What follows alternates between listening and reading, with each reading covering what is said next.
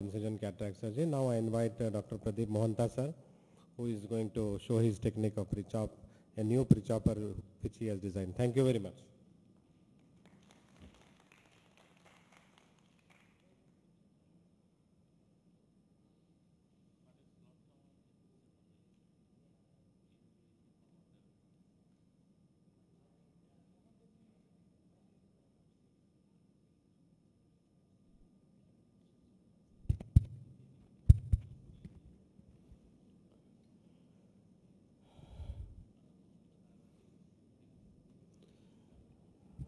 We need a, a bigger clap for uh, Dr. Sohail Irfan Khan. He is the man who, is, who has uh, introduced pre-chopper in a new way in India. We have seen Dr. Akahoshi using pre-chopper. We tried that, but we could not do it. It, was, it has steep learning curve uh, it works beautifully in Akahoshi's hands, but we could not do it.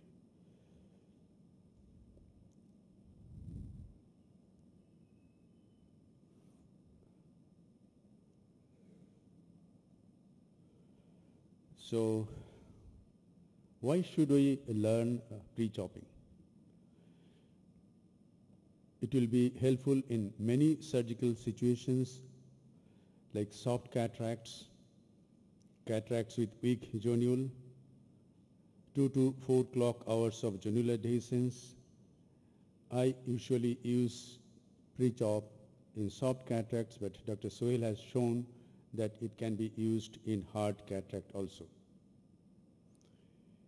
In IFIS, intraoperative floppy iris syndrome, we can divide the nucleus under visco in several parts and after that we can finish off the surgery quickly before the iris, before the pupil gets small.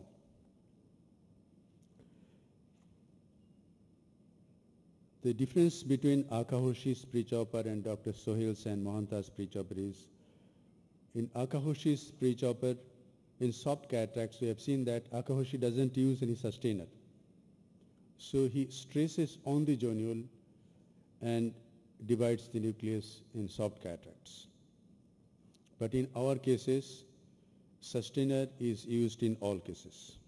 So the nucleus is having a support from the other side, 180 degree away. Lateral separation in Akahoshi's pre-chopper is limited, but in our pre-choppers, it is in your hand how much lateral separation you want to do. Learning curve in Akahoshi's pre-chopper is steep. Learning curve in our pre-choppers is maybe 5 to 10 surgeries. Akahoshi's pre-chopper is a costly instrument. Our instruments are economic. Now the steps in using uh, Dr. Sohail's or Dr. Mohanta's pre-chopper, I have designed a pre-chopper where the pre-chopper is straight. It is not carved like my friend Dr. Sohail's pre-chopper. The front is goes straight. It's a very simple design. The sustainer goes through side port first. These steps I am showing in this video.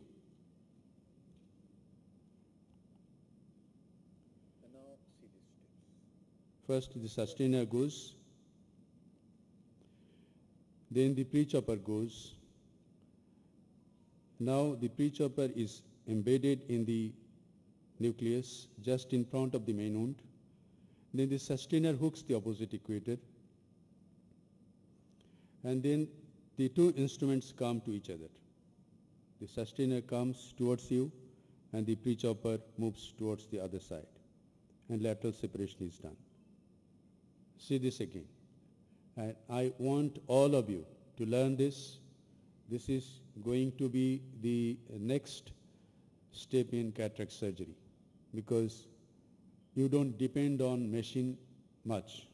Any machine, even Appasamy's Galaxy Pro Orbit machine will be a good machine if you can pre-chop the nucleus. So you don't depend on very high-end machine.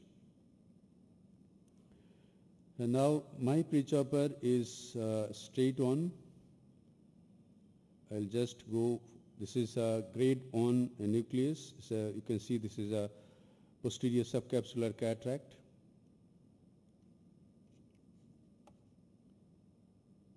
Hydrodissection is done.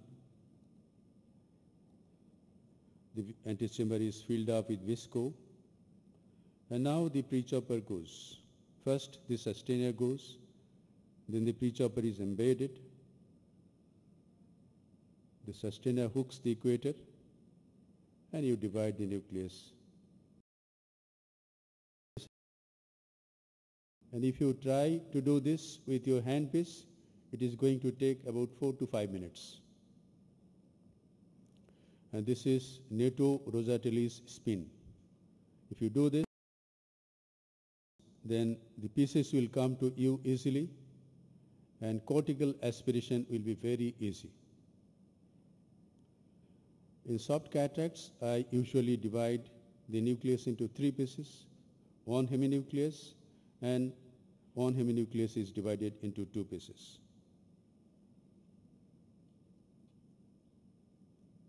And now in grade 2 nuclear sclerosis.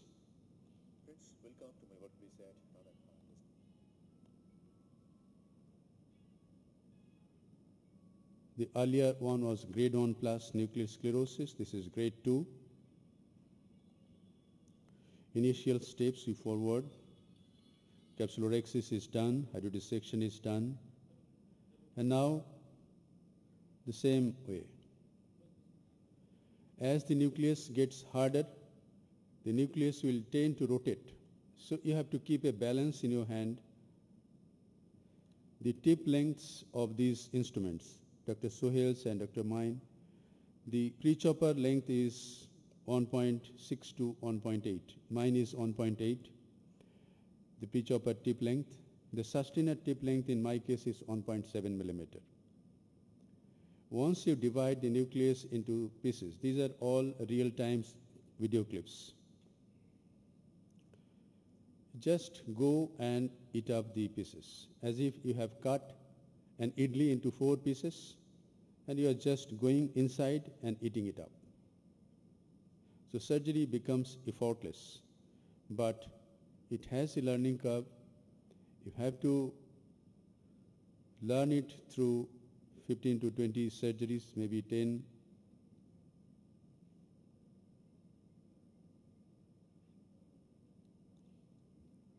And this is a little harder nucleus. You have seen Dr. Sohail doing in very hard nucleus. I have not tried that in very hard cataracts. This is a grade 3. You can do direct chop in this case, but we can do pre-chop also. Capsulorhexis is done, hydrodissection is done, antechamber is filled up with visco.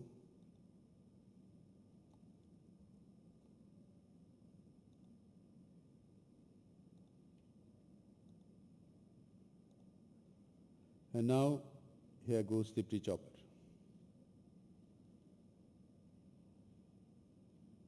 See, the nucleus tends to rotate. So you have to keep a balance in your hand and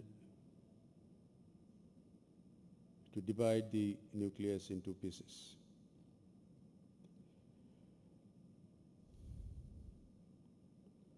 So this is a new technique which all of us should learn. It is going to make our surgeries simple. Thank you very much for your patient listening.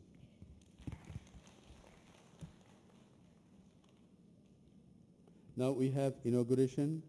All of us, please come to hall on. Sir, I have a question. Yes, yes, please. Anterior surface of the chopper, is it sharp? Anterior, uh, uh, leading edge is sharp. The back edge is blunt. How hard is it?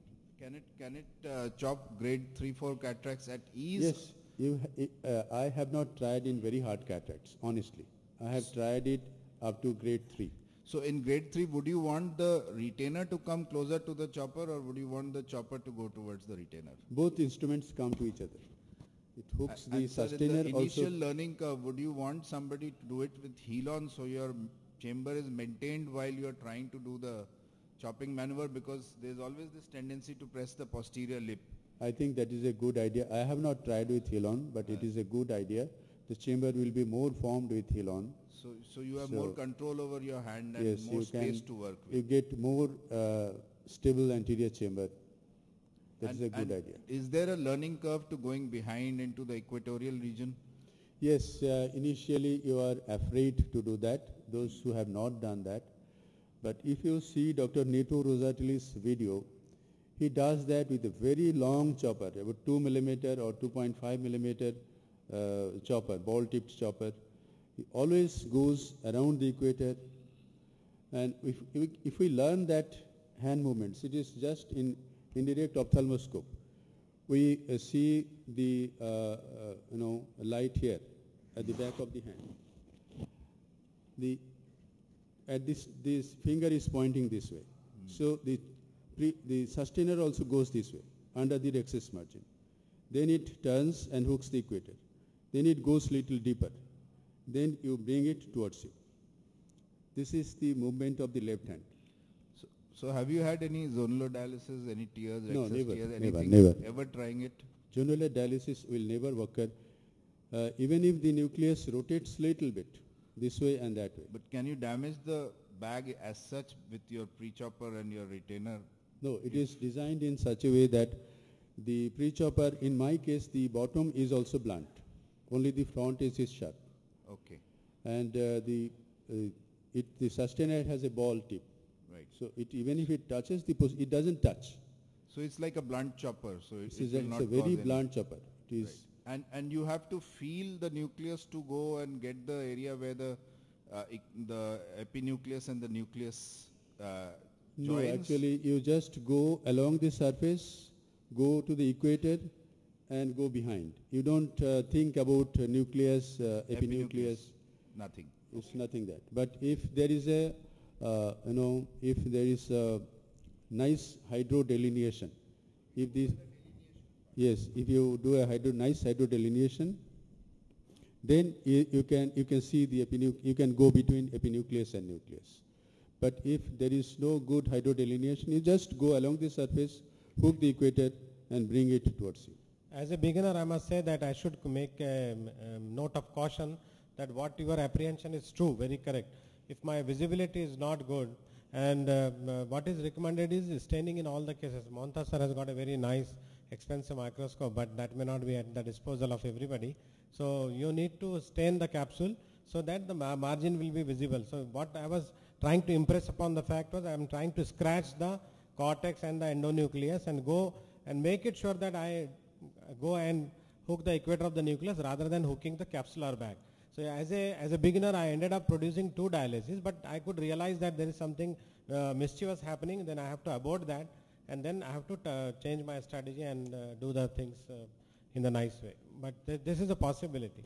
If your visibility is not good, if you are not very, very sure about what you are doing, then you end up producing a dialysis also.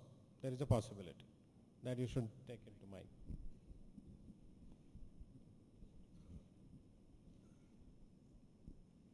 Thank you very much for attending this course.